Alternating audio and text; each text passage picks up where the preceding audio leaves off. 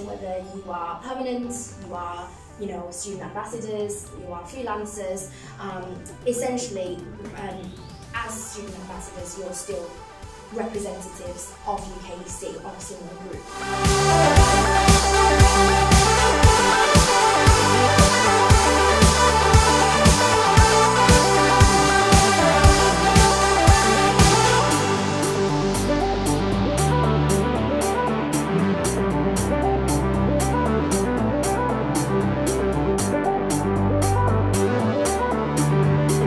Thank you.